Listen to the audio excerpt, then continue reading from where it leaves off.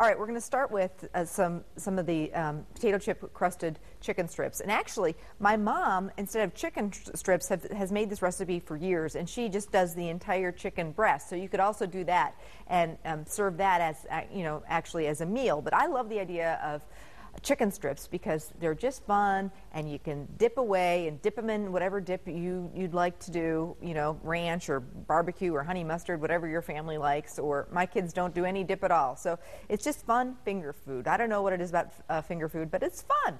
And that's what today's show is all about. So went to the grocery store or a lot of times you'll have in your freezer just the boneless, skinless chicken breast and we're just going to slice it into you can do strips you can do chunks whatever but um, and i make these all the time i really do. I just you know i think it's just a lot of fun. So we're just going to go ahead and, and, slice them into strips and you can make them whatever size you'd like. If you'd like them a little smaller um, that's fine too. And these are so much better than the, the kind you get in the store that are already made. They're just way way better you know, the frozen ones that you just bake up. First of all, a lot of that, a lot of times that meat is processed, and uh, you know, this is we're using real chicken breast. Got the good white meat chicken, and it's quick and easy. You know what's in it, and actually, Ireland. Um, a lot of times, she'll help me make these, and it's just a lot of fun. So I'm going to wash my hands because I, with soap, just touch that raw chicken. Make sure and do plenty of these, several chicken breasts, because people just gobble them up. And you know what? I was talking about something fun to do for the kids and with the kids, but you know, retro themed parties where you do just a bunch of fun things like chicken strips and things that you had when you were a kid, um, you know, not the fancy stuff. Adult parties, they're a really fun thing to do for adult parties too. Finger food is fun. It's just fun, and especially if you're doing fun, you know, uh, unstuffy food at a party. Uh, and people love it and they actually eat, which is a great thing if you're having a party. Okay, so we're going to make a breading station here. We've got our chicken strips all diced up, and uh, because we're using potato chips as our breading, which we all have with our little chip clip here, leftover potato chips. Uh, at the bottom of the bag, we've got all those crumbs. We're going to make them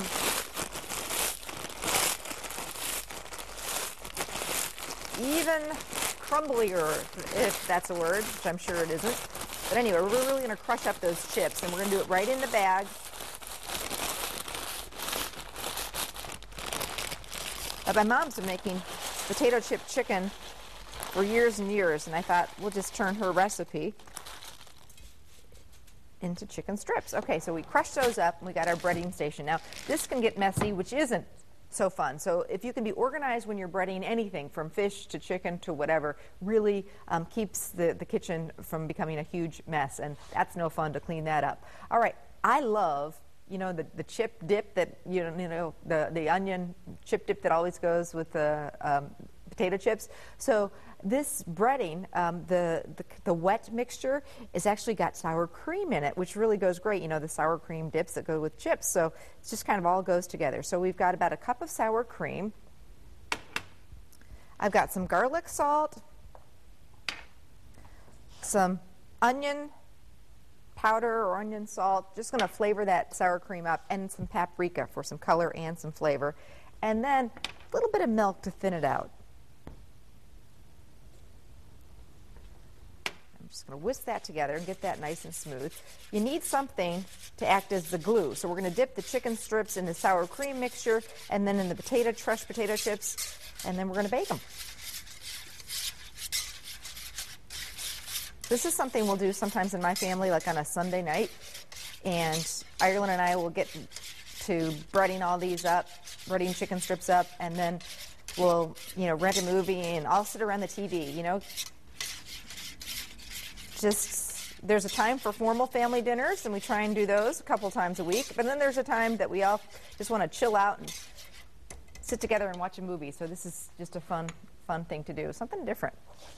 And give the kids once in a while permission to eat in front of a movie. If we're all doing it together as a family and we're talking and hanging out, I don't see a problem with that. Um, all right, so let's start this breading. I'm going to grease or line with foil a cookie sheet.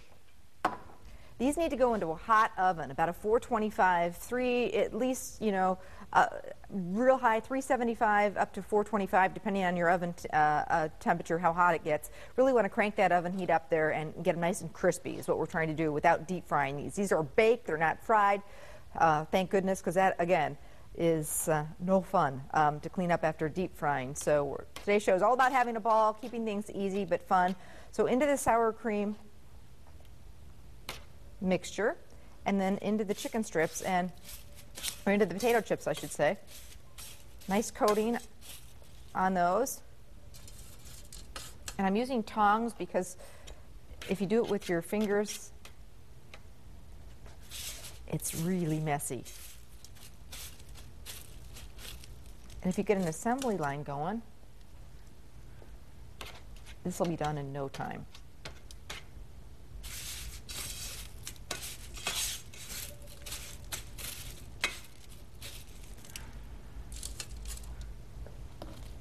Now, if your potato chips start getting a little gummy, just crush up some more so you can kind of do this in batches. Start with some potato chips in here and then add some more because they might tend to do that.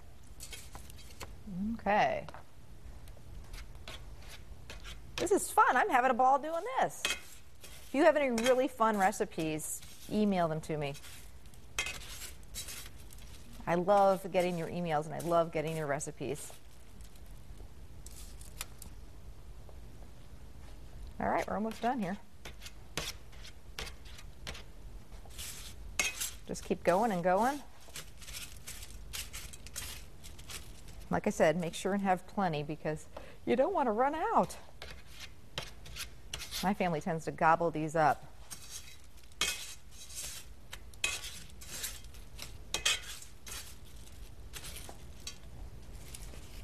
Okay. These are going to go into the oven. And we actually already have some in here, so come back with me and we'll get these in and get these out. And look what happens. They are just yummy. They cook up pretty quickly, this, uh, depending on the size of your. You can also drizzle them with a little butter if you want to, but um, you know what? we didn't even do it with these and they turned out nice and crispy and wonderful. There's a lot of oil in those chicken strips, but if you if you want to um, you know, get them a little brown. You can certainly drizzle them with a little butter or olive oil before you bake them off. But look at these. They look so good. I just want to dig right in. And they're fun. They're just fun. Um, you know, like I say, if you're having people over and they're munching on these and they're saying, what's, you know, what's on top of this chicken? Well, it's potato chips. I mean, it's just really fun. So you just want to make sure the chicken is cooked through.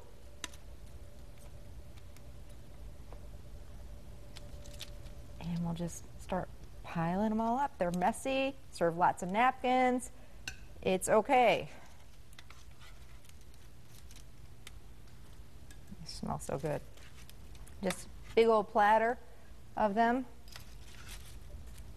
Got to serve them with lots of sauces.